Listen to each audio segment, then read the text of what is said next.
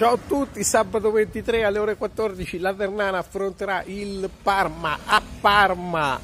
eh, con l'obiettivo di continuare a fare punti. La Ternana che viene da tre vittorie consecutive per cui l'obiettivo è quello di andare a Parma e fare punti. Ci saranno oltre 400 tifosi rossoverdi a sostenere i nostri ragazzi, ma l'avversario è veramente difficile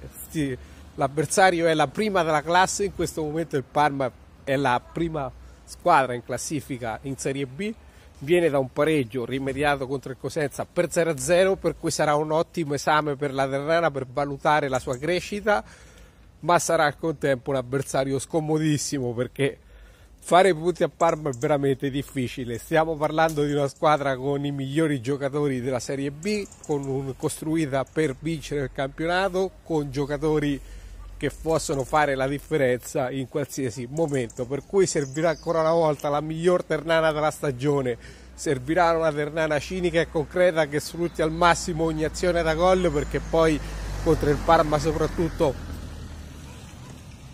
pagarlo, poi puoi pagarlo caro. Servirà una ternana attenta in tutte le parti di gioco, soprattutto a centrocampo perché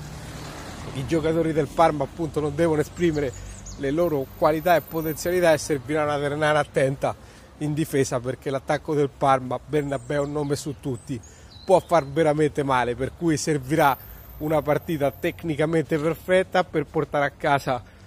anche solo un pareggio che sare- sarebbe, sarebbe un'impresa, sarebbe un buonissimo risultato. Ovviamente la nostra corsa non è sul Parma perché il Parma punta a vincere il campionato, la Ternana punta a salvarsi, ma la Serie B è pazza, la Serie B è strana, l'abbiamo visto contro il Lecco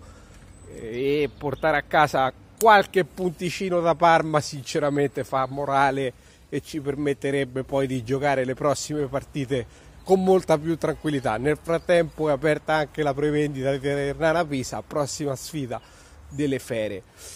Quindi non ci resta altro che aspettare sabato io vi ricordo che questa sera c'è Passione Rosso-Verde su Terra Live, quindi non ci resta altro che aspettare sabato